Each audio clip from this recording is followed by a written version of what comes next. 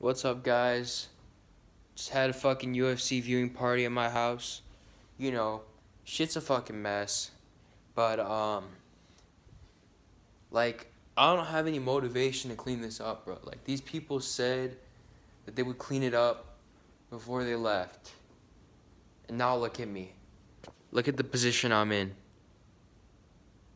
Look at the position I'm in. What the frick, man? Like, fucking just mess everywhere. That's fucking apple juice right there. You know, shotting apple juice. Um, holy crap, bruh. Like, it's not looking good out here. It's not looking good. Biggest disaster, bruh. These people, we got paper plates and shit, and these people just use all the damn plates, bruh. Why? What is that? What is that?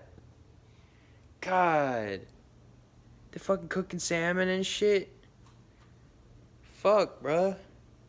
Got no motivation to clean this up. So help. Help. Help, bruh.